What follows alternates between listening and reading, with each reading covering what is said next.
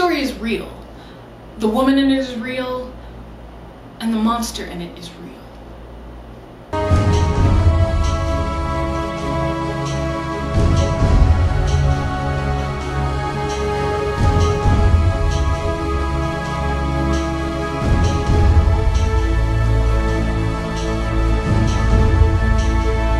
Know this story, once you once you hear this story, once you see this story, this this unbelievable, amazing, faith-defining story, you don't need to know anything else about this woman.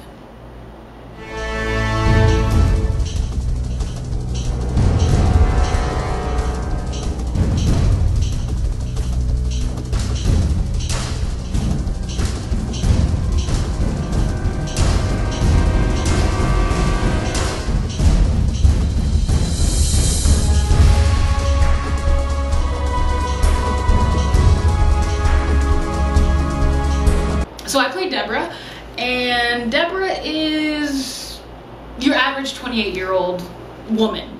She is a blogger. Um, she spends a lot of her life on the internet, so she's very kind of uh, a shelter. She spends a lot of time dealing with the virtual world.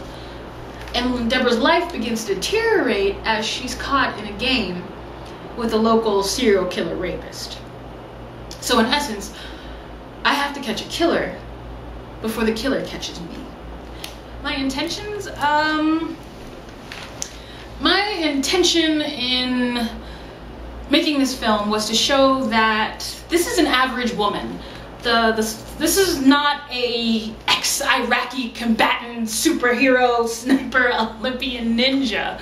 You know, it's it's a it's it's your everyday average woman a woman who made a decision to uh, to stand up to all the boogeyman in the.